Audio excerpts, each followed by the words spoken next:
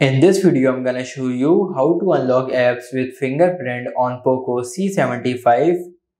Go in settings, scroll down, go in apps, tap on app lock, tap on turn on.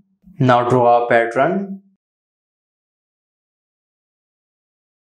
Tap on next. I don't want to add my Xiaomi account so I will simply tap on not now tap on not now again. I will tap on use app lock. Now it is saying to add the fingerprint first. For the fingerprint unlock now go in settings.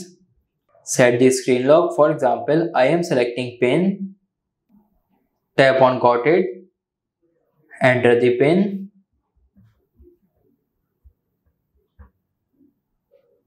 now place your finger on the power button like this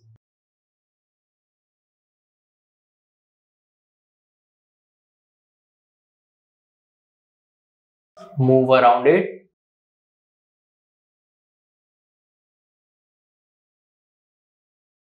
Fingerprint is added. I will tap on done. Now here you will find the app lock option. To enable the fingerprint in app lock simply tap on this toggle. Now let's check it out. I will simply open the contacts application as you can see here two option is showing. First is unlock with fingerprint and the other one is unlock with pattern. So i will simply unlock it with fingerprint.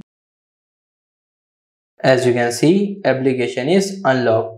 So this is how you can unlock apps with fingerprint on poco c75 if this video helps you like this video and subscribe the channel